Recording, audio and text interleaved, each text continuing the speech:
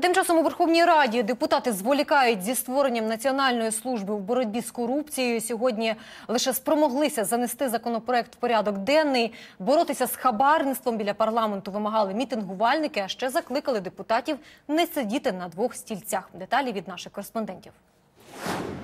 Без гасел та протестного завзяття задовго до початку засідання Верховної Ради на ганку збираються якісь просунуті пенсіонери. Розповідають, що вони зорганізувалися в соцмережах, аби вийти проти депутатів-сумісників, яких до того ж називають новомодним інтернет-терміном тролі.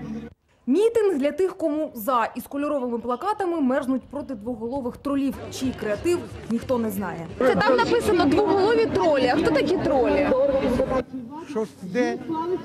Двоголові тролі. Та я не знаю, що воно таке. Воно по-німецьки написане, я не знаю. Так і ви стоїте, оце не знаєте. Не знаю, я знаю, що ми повинні відстояти свої права. Ви теж просто потримати прийшли? Да, попросили. Ага, за гроші? Нет, за ідею. За яку ідею? Ну, я забув. Надумаю, скажу. Кволі мітингарі вимагають депутатів при владі відмовитися від посад. Ось що читайте, дивіться, як гарно написано. За що ми стоїмо? За що ми стоїмо? Щоб депутати здали свої мандати і не працювали, не сиділи на двох стільцях, отримують дві зарплати. У нас мізерна пенсія. Чи є реакція парламентарів на вимоги протестувальників скласти мандати депутатів-сумісників? Знає моя колега Юлія Янчар. Вона від самого ранку працює всередині парламенту. Іро, вимоги мітингувальників щодо депутатів-сумісників у сесійній залі таки почула. Про це ще раз нагадав і голова Верховної Ради та ВО президент Олександр Турчинов.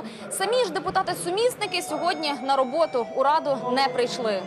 Я звернувся до уряду, до глав адміністрації з тим, щоб вони визначились, де вони хочуть працювати. Або в парламенті, коли їм так важливі депутатські мандати, і вони не можуть з ними розстатись, або е, треба здати мандати і працювати на своїх посадах. Ось ті, хто не бажає розлучатися з мандатом. У переліку сумісників Свободівка Ірина Сех, яку призначили очолювати Львівщину. Вона в раду ходить часто, а нині замість неї віддуваються однопартійці і кажуть, тут морока, бо вона мажоритарниця. Тому, якщо складе повноваження, забракне голосу. Наприклад, вчора антикорупційний закон було прийнято про ну про е, прозорість державних закупівель.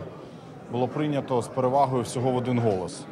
Якщо би був е, в списку партійному, то просто був би наступний по списку. Найбільше сумісників у батьківщини тут і Віталій Ярема, перший віце-прем'єр, і ВО голови адміністрації президента Сергій Пашинський, його заступник Андрій Сенченко, Володимир Шульга, голова Сумської ОДА, Юрій Одарченко, голова Херсонської ОДА, Володимир Бондаренко, голова Київської міськадміністрації. Тут є невеличкі нюанси, що вони якби тимчасово е, виконуючі обов'язки, і тому е, як то є лазійка невеличка. Але в принципі є закон, який чітко регламентує, скільки можна.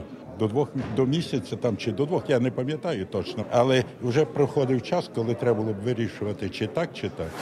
І вже о 10-й під куполом самовлаштувався цілий паркінг. Автомайдан зібрав тут інший пікет проти корупції. І з креативом теж постаралися. Вселенське лихо зобразили у вигляді опудала. Так а хто це тут? Корупціонер.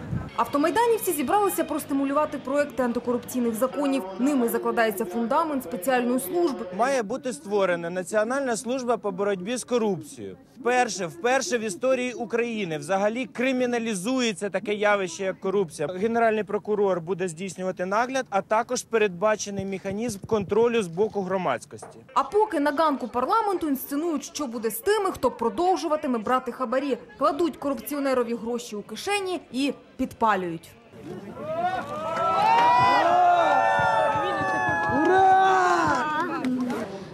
Депутати впродовж цілого дня розглядали другорядні законопроекти і так і не внесли сьогодні до порядку денного закон про створення національної служби в боротьбі з корупцією, який вже котрий місяць блокують саме у цій залі.